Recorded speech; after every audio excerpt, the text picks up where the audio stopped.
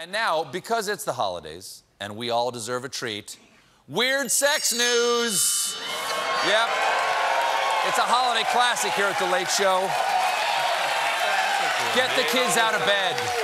It's time for weird sex news, parents.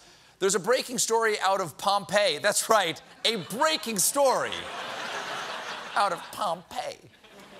Archaeologists just discovered a sensual fresco in an ancient Pompeii bedroom, which is the ancient Roman equivalent of dying without clearing your browser history. well, brace yourselves, brace yourselves, sensual fans, because here it is in all its glory.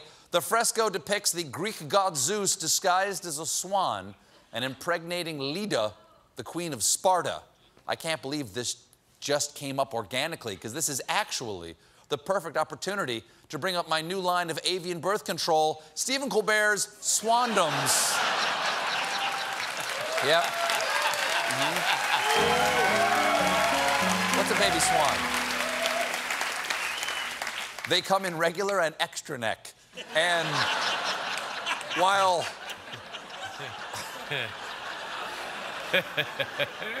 Weird sex story.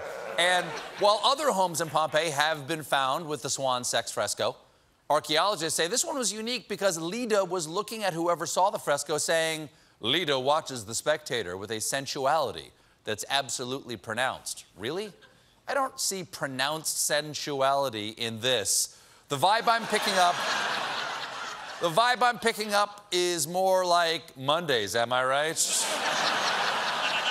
now, they haven't, they're still working on the wall? They're still working on it? They haven't finished excavating the wall, but when they do, you know they're gonna find a pop up ad. Meet horny swans in your area now. we got a great show for you tonight. George R.R. Martin and Connie. Britton